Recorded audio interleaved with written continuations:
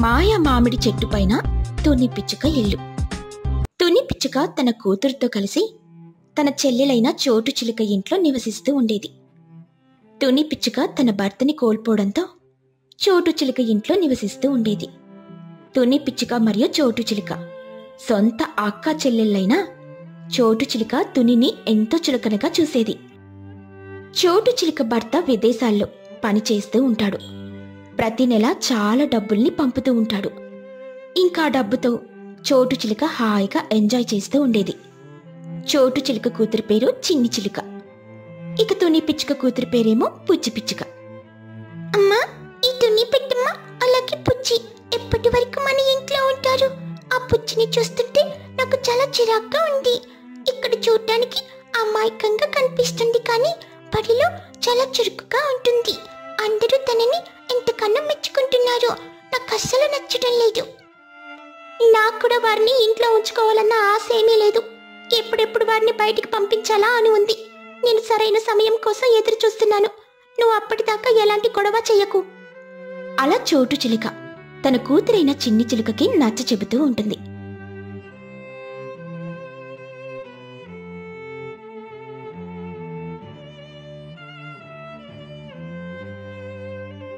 తుని పిచ్చుక తన కూతురైన బుజ్జి పిచ్చుకతో కలిసి ఇంట్లో అన్ని పనులను చేస్తూ ఉంటుంది.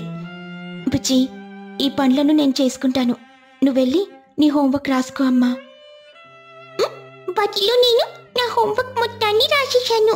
అలాగే చదవాల్సిన అంశాలు కూడా పూర్తిగా చదివేశాను. అందుకే ఇప్పుడు నీకు ఇలా సహాయం చేస్తున్నానమ్మా. ఇంతలో చోటు చిలుక మరియు చిన్ని చిలుక వారి వద్దకు వస్తారు. నీ హోంవర్క్ మొత్తం పూర్తయిపోతే నా హోంవర్క్ రాసి పెట్టు నాకు చాలా తలనొప్పికుంది అది నేనెందుకు నీ హోంవర్క్ చేయాలి? ఎవరి హోంవర్క్ వారి చేసుకోవాల్సి ఉంటుంది అయినా నేను నీ హోంవర్క్ రాస్తే నాకేమొస్తుంది నీకేమొస్తుంది ఎంత ధైర్యం నీకు? నా కూతురికి ఎదురు చెప్తున్నావా? నా కూతురు ఏది చెబితే అది చేయడానికి నువ్వు సిద్ధంగా ఉండాలి. భర్త లేకపోయినా సరే నేను మీ అమ్మని ఆదరించాను. ఇక నీకు మీ అమ్మకి మూడు పూట్ల ఆహారాన్ని పెడుతున్నాను. నేను నా కూతురు ఏం చెప్తే ఆ పనిని మీరు తప్పకుండా చేయాల్సి ఉంటుంది అలా చోటు చిలుక చెప్పడంతో బుజ్జి పిచ్చిగా చిన్ని చిలుక హోంవర్క్ని రాస్తూ ఉంటుంది. అలా బుజ్జి హోంవర్క్ రాస్తూ ఉంటే చిన్ని చిలుకేమో కాలుపై కాలు వేసుకుని హాయిగా పాటలు వింటూ ఉంటుంది. ఆహా ఈ మధ్య ఆ సిద్ధు శ్రీరామ్ పాటలు చాలా బాగా పాడుతున్నాడు. ఆ పాటల్ని వింటూ ఉంటే ఎక్కడో స్వర్గంలో తేలియాడుతున్నట్టుంది. ఈ పాటలతో పాటు ఏదైనా తినడానికి ఎంత బాగుంటుంది. ఏం తింటావో చెప్పు తల్లి క్షణాల్లో తెప్పిస్తాను. లేదమ్మా నువ్వు బయట నుండి ఏం తెప్పించాల్సిన పని లేదు. ఇదిగో మన తుని పెట్టం ముందుగా మిరపకాయ పచ్చిలు వేసిందంటే ఊరంతా సువాసన రావాల్సింది. ఇదిగో పెట్టమ్మా నాకు మిరపకాయ పచ్చిలను తయారు చేసి తీసుకుంటా ఇంకా ఏమిటి నిలబడి చూస్తున్నావు? నా కూతురు చెప్పిన మాటలు నీకు వినిపించలేదా? ఇక్కడ నుండి వెళ్ళి పదే పది నిమిషాల్లో మిరపకాయ బజ్జీలను వేసుకుని తీసుకునిరా అలా చిన్ని చిలుక కోరడంతో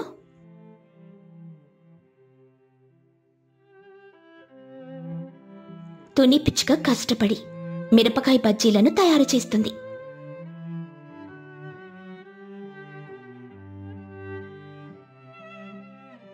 చోటు చిలుక మరియు చిన్ని చిలుక.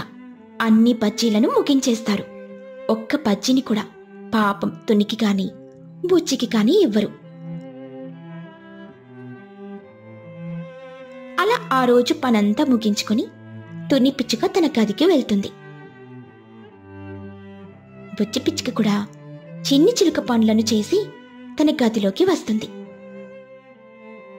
తుని పిచ్చుక చేతికి గాయమయ్యి ఉండడాన్ని బుజ్జి గమనిస్తుంది. ఏంటమ్మా ఇది? అసలు ఈ గాయం ఎలా జరిగింది? ఇందాక మిరపకాయ పచ్చళ్ళు చేస్తుంటే నా వేలు కాస్త తెగింది. ఇక మిరపకాయ కాటు ఆ గాయానికి తగిలి బాగా ఎర్రగా తయారైంది. ఇంత గాయాన్ని పెట్టుకుని కూడా అసలు ఎలా వంట చేసావమ్మా ఈ ఒక్కసారికి చెయ్యనని చెప్పి ఉంటే బాగుండేది కదా. మనం మరొకరి ఇంట్లో నివసిస్తున్నాం కదా. మీ నాన్నగారు చనిపోయాక ఈ ఊర్లో ఒక్కొక్కరు ఒక్కొక్కలా మాట్లాడారు. ఆ సమయంలో చోటుయే నాకు ఆశ్రయాన్నిచ్చింది. అదే కృతజ్ఞతతో ఇలా పనిచేస్తున్నాను. అలా తుని పిచ్చుక. తన మనసులో ఉన్న మాటని తన కూతురైన బుజ్జి పిచ్చుకకి చెబుతూ ఉంటుంది. కొంతకాలం గడుస్తుంది. చోటు చిలుక మరియు చిన్ని చిలుక. తుని మరియు బుజ్జిని ఎంతగానో హింసించేవారు. ఒకరోజు తుని పిచ్చుకకి బాగా అనారోగ్యం కలుగుతుంది. ఒక్క పనిని కూడా చెయ్యలేని పరిస్థితిలో ఉంటుంది.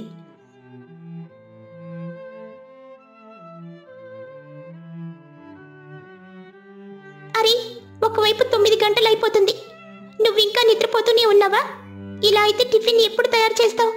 మరో అరగంటలో నా కూతురు బడికి వెళ్ళాలి. పింగి ఈ ఒక్క రోజుకి నువ్వే వంట చేసుకో. అలా చెబుతూ ఉన్నా వినకుండా చోటు చిలుక. ఒక బిందెలో నీటిని తీసుకొనొచ్చి నిద్రపోతూ ఉన్న తుని పిచ్చుకపై చల్లుతుంది. తుని పిచ్చుక ఉలిక్కిపడి నిద్రలేస్తుంది. పుచ్చి పిచ్చుకకి చాలా కోపం వస్తుంది. ఏంటి పిన్ని? నువ్వు చేస్తున్న పని? నేను చెప్పాను మా అమ్మకి ఒంట్లో బాగలేదని. అయినా నువ్వు నా మాట వినకుండా ఇలా చల్లటి నీటిని ఒంటిపై వేస్తే ఎలా? అరే వేడంత లేవు? నాపైనే అరుస్తున్నావా? అర్చన నీకు మాత్రం అర్థం కావడం లేదు. అయినా ఒక్కరోజు వంటి కూడా చేసుకోలేకపోతే ఎలా? అలా బుజ్జి పిచ్చుక చెప్పడంతో చోటు చిలుకకి చాలా కోపం వస్తుంది. చోటు చిలుక తుని పిచ్చుకని అలాగే బుజ్జి పిచ్చుకని మెడ పట్టుకొని మరి బయటికి గెంటేస్తుంది. నువ్వేం కంగారు పడుకో ఆ దేవుడు మనకు ఏదో ఒక రకంగా ఆశ్రయాన్ని కల్పిస్తాడు. కానీ అంతకంటే ముందు మనం ఆసుపత్రికి వెళ్ళాల్సిన అవసరం ఉంది. అలా పుచ్చిపిచ్చుక తన తల్లిని ఆసుపత్రికి తీసుకుని వెళ్తుంది. ఆసుపత్రిలో ఉన్న లూసి పౌరం డాక్టరు తుని పిచ్చుకకి వైద్యం చేస్తాడు. అలా తుని పిచ్చుక జ్వరం కాస్త అదుపులోకి వస్తుంది ఆసుపత్రి పక్కనే ఒక మామిడి చెట్టు ఉండేది. తుని పిచ్చుక మరియు పుచ్చి పిచ్చుక. ఆసుపత్రి నుండి బయటకొచ్చి ఆ మామిడి చెట్టు కింద కూర్చొని బాధపడుతూ ఉంటారు. ఆ చోటు ఇంత పని చేస్తుందని అస్సలు అనుకోలేదు. తాను చేసిన పనికి నా జ్వరం కాస్త పెరిగింది. ఇప్పుడు మనం ఎక్కడికి వెళ్ళాలో ఏమో. అలా బాధపడుతున్న తుని పిచ్చుక ఒళ్ళో ఒక మామిడి పండు పడుతుంది. తుని పిచ్చుక తన తలని పైకెత్తి ఆ చెట్టుని చూడగా మామిడి చెట్టు వారిని చూస్తూ ఉంటుంది. అది సాధారణమైన చెట్టు కాదు మాయ మామిడి చెట్టు. మీలో మీరే బాధపడకుండా కాస్త మీ బాధ ఏమిటో నాకు చెప్పారంటే నేను మీ బాధని తీర్చే ప్రయత్నం చేస్తాను. అలా ఆ మామిడి చెట్టు అడగడంతో తుని పిచ్చుక అలాగే పుచ్చి పిచ్చుక తమ కష్టాలను చెప్పుకుంటారు. ఆ మాయా మామిడి చెట్టుకి ఎంతో బాధ కలుగుతుంది? నా వద్దకు వచ్చారుగా? ఇక మీకు ఎలాంటి హాని కలగకుండా నేను చూసుకుంటాను. చూడ్డానికి చెట్టులా కనిపిస్తున్నాను. కానీ నేను చాలా మంచివాణ్ణి. ఇప్పుడే నా కొమ్మలపై ఒక మంచి ఇంటిని నిర్మిస్తాను. ఆ దృఢమైన ఇంటిలో మీరిద్దరూ ఎంతో హాయిగా ఉండొచ్చు. అలా మాయా మామిడి చెట్టు క్షణాల్లో ఒక అందమైన ఇంటిని నిర్మిస్తుంది.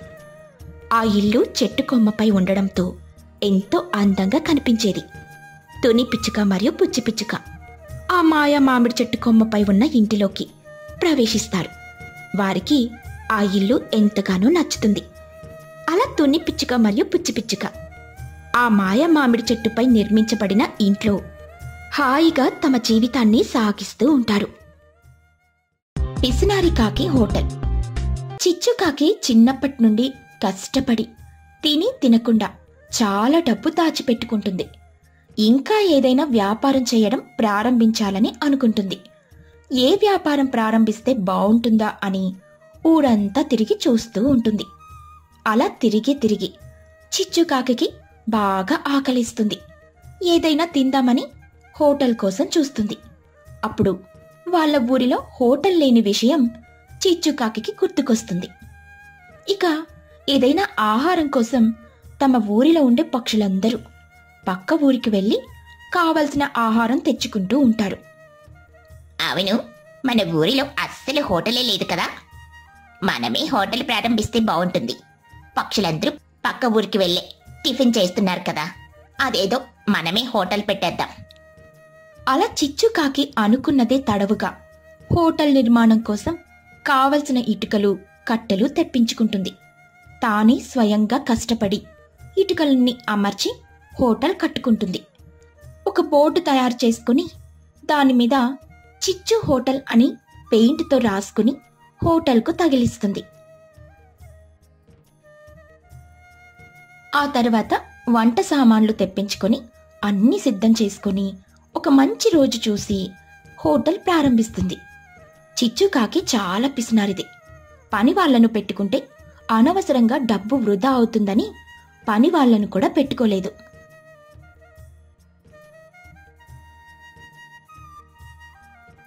ఆ ఊర్లో హోటల్ లేకపోవడంతో చిచ్చుకాకి హోటల్కి అందరూ వస్తూ ఉండేవారు. ఒకరోజు తుని పిచ్చుక తన కుటుంబంతో కలిసి చిచ్చుకాకి హోటల్కు వస్తుంది. ఆ రండి రండి. ఏం కావాలండి? నాకు మా ఆయనకు రెండు దోశలు అలాగే మా అమ్మాయి పుజ్జికి సాంబార్ ఇడ్లీ తీసుకుని రండి. అప్పుడు చిచ్చుకాకి వెళ్ళి ఇడ్లీ దోశ తెచ్చి అరటి ఆకులో పెడుతుంది. ఇదిగో కాకి సాంబార్ ఇడ్లీ కదా. నేను చెప్పింది ఉత్త ఇడ్లీ ఇచ్చావేంటి? ఆ వస్తున్నానమ్మా. సాంబార్ తెస్తున్నాను. అలా చిచ్చుకాకి వెళ్ళి కొబ్బరి చిప్పల్లో సాంబార్ తీసుకుని వస్తుంది. కొబ్బరి చిప్పలో సాంబార్ చూసి తుని పిచ్చుక ఉలిక్కి పడుతుంది. నా జీవితంలో ఇటువంటి చెత్త ఐడియా ఇంతవరకు చూడలేదు. కొబ్బరి చిప్పలో సాంబార్ తీసుకుని రావడం ఏంటి ఇందులో ఇడ్లీ ఎలా తింటారు? అది కాదమ్మా. ప్లాస్టిక్ గిన్నెలు తింటే మన ఆరోగ్యం పాడవుతుంది కదా. ఇవైతే ఆర్గానిక్ కొబ్బరి చెప్పలు. అందుకే ఇలా చేశాను. ఏడ్చావులే ఇవన్నీ పార్సిల్ చేసి ఇవ్వు.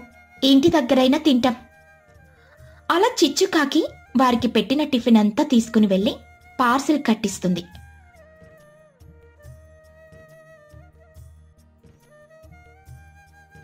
అలా వాళ్ళు వెళ్ళగానే మధ్యాహ్నం భోజనం కోసం చిచ్చుకాకి చికెన్ కర్రీ మటన్ కర్రీ వండుతూ ఉంటుంది. కాసేపటికి అదే దారిలో మహిగ్రద్ద లూసీ పావురం వారి పిల్లలతో కలిసి వెళ్తూ ఉంటారు. హోటల్ దగ్గరకు రాగానే మసాలా వాసనకు వారికి నోరూరుతుంది. వెంటనే వాళ్ళందరూ కలిసి హోటల్కి వస్తారు. ఏమా తినడానికి ఏమున్నాయి? Chicken curry mutton curry egg curry బోటి కర్రీ. సరే అన్ని కూరలు వేసి అందరికీ భోజనం తీసుకునిరా అలా చిచ్చుకాకి వారందరికీ భోజనం తెచ్చి వడ్డిస్తుంది. ఆ పదార్థాలన్నీ రుచిగా ఉండడంతో వారు గబగబా తినేస్తారు. అన్ని తిని భోజనమయ్యాక ఈ, ఏమా మా బిల్ ఎంతయింది? మీది థౌజండ్ అయిందండి. రెండు లివర్లు ఎక్స్ట్రా. ఏంటి? వెయ్యి రూపాయల? అవునండి. దాంతో మహీగ్రద్ద తన దగ్గరున్న డబ్బు తీసిచ్చి అక్కడి నుండి వెళ్ళిపోతారు. అలా చిచ్చుకాకి ఆహారం రుచిగా ఉన్నా కూడా చాలా ఎక్కువ రేట్ పెట్టి అమ్ముతూ ఉంటుంది. ఆహారం బాగుండడంతో కొంచెం డబ్బు ఎక్కువైనా కూడా పక్షులు అక్కడికొచ్చి తింటూ ఉండేవారు. ఒకరోజు చోటు చిలుక కూడా చిచ్చుకాకి హోటల్కు వస్తుంది. సర్వర్ ఒక ఉప్మా పెసరట్టు తీసుకునిరా గట్టి చట్నీ ఉండాలి. చోటు చిలుక అడిగినట్టుగానే చిచ్చుకాకి గట్టి చట్నీ తీసుకుని వెళ్ళి చోటు చిలుకకి ఇస్తుంది. ఇక చోటు చిలుక ఒకటికి నాలుగు సార్లు చట్నీని అడిగి మరీ వేయించుకుంటుంది. ఆ తర్వాత చోటు చిలుక డబ్బిచ్చి వెళ్ళిపోతుంది. అమ్మో పది మంది తినాల్సిన చట్నీ ఇదొక్కటే తినేసి వెళ్ళింది. ఇలా అయితే నా వ్యాపారానికి పెద్ద బొక్క పడినట్టే. సరే ఇందులో నీళ్ళు బాగా కలుపుదాం. కాసేపటికి మళ్ళీ తుని పిచ్చుక అక్కడికొస్తుంది. ఇదిగో అమ్మా ఒక ప్లేట్ ఇడ్లీ ఇవ్వు. నీ కొబ్బరి చెప్పలో సాంబార్ వద్దు కానీ చట్నీ తీసుకునిరా చాలు. అప్పుడు చిచ్చుకాకి ఇడ్లీతో పాటు ఒక గ్లాస్ కూడా తీసుకొనొచ్చి అక్కడ పెడుతుంది. ఇదిగో అమ్మా ఏంటిది? నీళ్ళు ఒక రంగులో ఉన్నాయి. ఇడ్లీకి చట్నీ ఏది? ఈ గ్లాసులో ఉన్నది నీళ్ళు కాదమ్మా చట్నీ. నీళ్ళు కావాలంటే బాటిల్ కొనుక్కోవాలి. ఒక్కొక్కటి ఇరవై రూపాయలు. ఇలాంటి పిసిని కొట్ట ఐడియాలు ప్రపంచంలో నీకు తప్ప ఎవరికీ రావు. గ్లాసులో చట్నీలు పోసి ఇవ్వడమేంటి నీ టిఫిన్ వద్దు ఏమీ వద్దు. అలా తుని పిచ్చుక అక్కడి నుండి లేచి వెళ్ళిపోతుంది. అలా ఒకసారి చిచ్చుకాకి హోటల్కు వచ్చిన వాళ్ళు కాకి పిసినారితనం వలన రెండోసారి తిరిగి రావడం లేదు. మొదట పది పదిహేను రోజులు బాగానే జరిగిన చిచ్చుకాకి వ్యాపారం. ఆ తర్వాత ఈకలు తోలుకునే పరిస్థితికి వచ్చింది.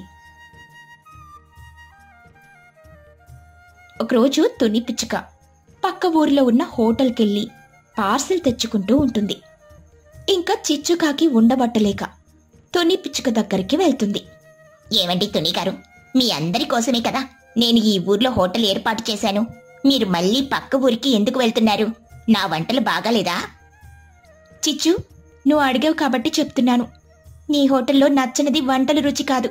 నీ ప్రవర్తన నీ పిసినారితనం. నీ దగ్గర ఎవ్వరూ తిని డబ్బివ్వకుండా వెళ్ళడం లేదు కదా? పైగా పక్క ఊర్లో కంటే నీ దగ్గరే రేట్ ఎక్కువైనా కూడా ఇక్కడే తింటున్నారు కదా? కానీ నువ్వు పిసినారితనంతో రోజురోజుకి ఇచ్చే డబ్బుకి సరిపడా ఆహారం ఇవ్వకపోతే ఎలా? అందుకే నేను రావడం మానేశాను. అమ్మా తుని తప్పైపోయిందమ్మా. ఇంకా ఎప్పుడూ అలా చెయ్యను. దయచేసి ఇప్పటి నుండి నా హోటల్కి రా. అలా చిచ్చుకాకి తన తప్పు తెలుసుకుంటుంది. తన హోటల్లో అమ్మే అన్ని రకాల పదార్థాల రేట్ల గురించి ఒక బోర్డు కూడా ఏర్పాటు చేసి హోటల్ ముందు పెడుతుంది. ప్రతిరోజు ఒక కొత్త ఐటెం చేసి స్పెషల్ ఐటెం అని బోర్డు మీద రాస్తూ ఉండేది. అలా చిచ్చుకాకి చేసిన స్పెషల్ ఐటమ్స్ బాగా రుచిగా ఉండడం. పైగా ధర కూడా తగ్గించి అమ్మడంతో పక్షులందరూ చిచ్చుకాకి హోటల్కు క్యూ కట్టడం ప్రారంభిస్తారు. అలా కొద్ది కాలంలోనే చిచ్చుకాకి మంచి పేరుతో పాటుగా డబ్బు కూడా బాగా సంపాదిస్తుంది. అలా వచ్చిన డబ్బుతో మిమికాకిని చిచ్చుకాకి పెళ్ళి చేసుకుంటుంది. వారి పెళ్ళికి ఊర్లో ఉన్న పక్షులందర్నీ ఆహ్వానించి ఘనంగా భోజనాలు ఏర్పాటు చేస్తుంది. పక్షులందరూ చిచ్చుకాకిని దీవించి తృప్తిగా భోజనం చేసి వెళ్తారు. అలా పెళ్ళి తర్వాత మిమికాకి సహాయంతో ఇంకా నూడిల్స్ ఫ్రైడ్ రైస్ కూడా తన హోటల్లో ప్రారంభిస్తుంది చిచ్చుకాకి. అలా వాళ్ళు మెల్లమెల్లగా వారి వ్యాపారం పెంచుకుంటూ ఆనందంగా జీవిస్తారు. చిచ్చుకాకి కూడా తన పిసినారితనాన్ని పూర్తిగా వదిలేసి నలుగురికి సహాయం చేస్తే ఆ సహాయం తిరిగి ఏదో ఒక రూపంలో మన దగ్గరికి వస్తుందని తెలుసుకుని ఆపదలో ఉన్నవారికి సహాయం చేయడం కూడా ప్రారంభిస్తుంది.